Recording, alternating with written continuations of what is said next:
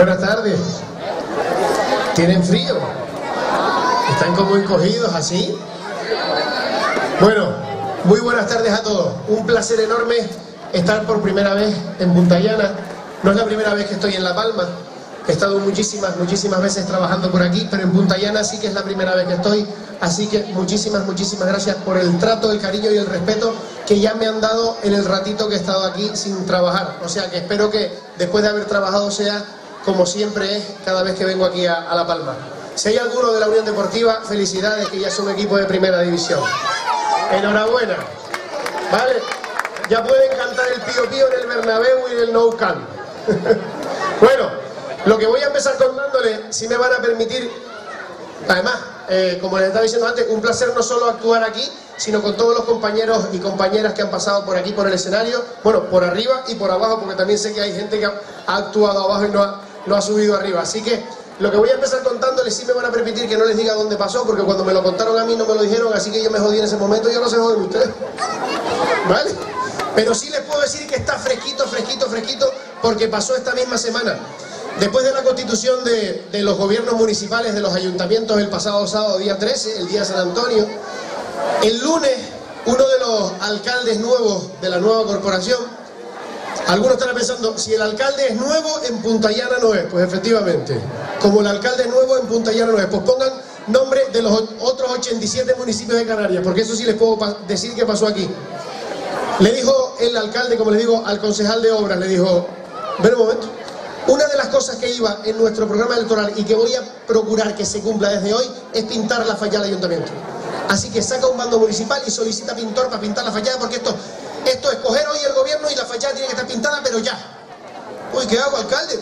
Eh, manda saca una nota de prensa, una nota, una nota donde todo el mundo lo lea, los medios de comunicación, que solicitamos pintor para pintar la fachada y mira a ver si se presenta alguien.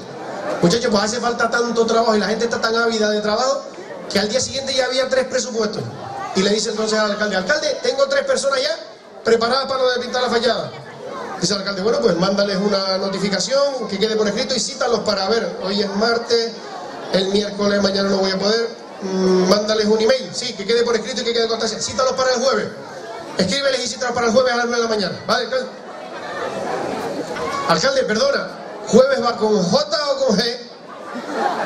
Dice el alcalde, eh, cítalos para el viernes, cítalos para el viernes. Y no les he dicho dónde fue. Pues nada, fue el viernes. El viernes fueron los tres presupuestos, las tres personas que se presentaban. El primero era un moro que lo hacía por 3.000 euros, el segundo era un venezolano que lo hacía por 6.000 euros y el tercero era un canario, uno de los nuestros que lo hacía por 9.000 euros. Entonces el primero que entró fue el moro y le dijo el alcalde, hola, ¿qué tal con ella? Venía a perder usted meter la pintura. Sí, sí, siente, siente. Gracias. ¿Me siento aquí? Sí, siente, siente. ¿Cómo se llama usted? Yo me llamo Mohamed primero. Y síganme después, claro, no me va a dejar enchumbado. ¿Cómo dijo? No, era un chiste de Mohamed primero y síganme después. ¿No lo entendiste? Ah, ah, que encima me salió gracioso el mono. Mire, veo que tiene aquí un presupuesto de 3.000 euros, si es tan amable, y me lo justifica. Sí, a ver, de 3.000 euros.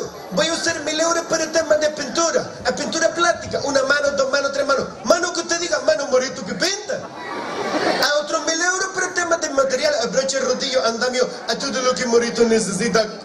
Cubo, cubo y todo, todo lo andamio, a todo lo que yo necesito. Necesito comprarlo y necesito dinero hay otros mil euros para el sueldo de Morito y de, la gente que va a trabajar conmigo.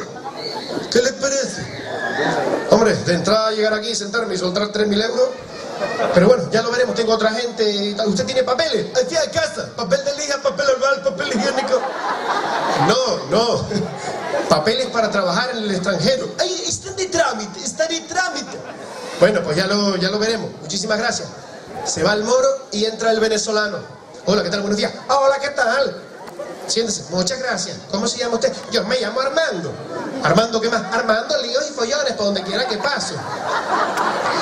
Bueno, veo que tiene un presupuesto de 6.000 euros, si es tan amable y me lo justifica. Bueno, sí, pero mire, alcalde, yo antes de justificar el presupuesto, sí quería agradecerle esta posibilidad que usted me brinda de trabajar fuera de mi frontera.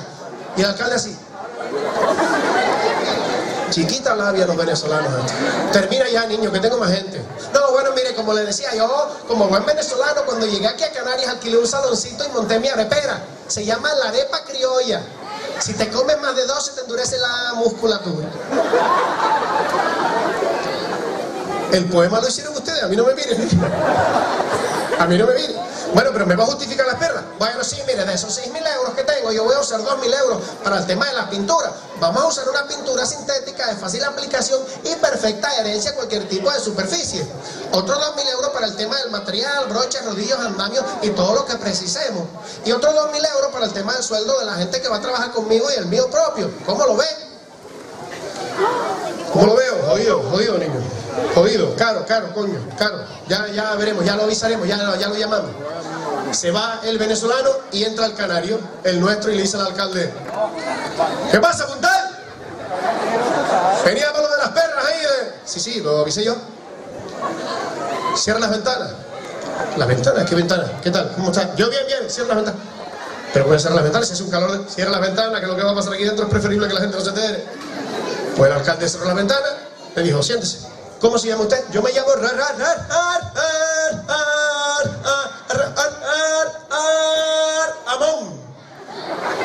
Es tartamudo. No, tartamudo, ¿qué va tartamudo? El tartamudo era mi padre y el del registro era un rebenque que te caga, que me apuntó como se lo dijo. Pero yo no soy tartamudo ni nada. Bueno, veo que tiene aquí un presupuesto de 9.000 euros. Los tengo mucho más. Sí, sí, espere, espere. ¿Usted cuánto lleva gobernando aquí? No, bueno, es mi primera legislatura. Se preocupe cortando huevos, se aprende a capar. Mire, eh, los 9.000 euros, eso que yo puse ahí, 3.000 euros son para usted. Eso hace todo el mundo, infla los presupuestos y se mama la perra. Otros 3.000 euros son para mí, que soy el de la idea. no voy a decir nada. Y con los otros 3.000 euros contratamos al moro que está aquí fuera y que pinta el moro la fallada ayuntamiento.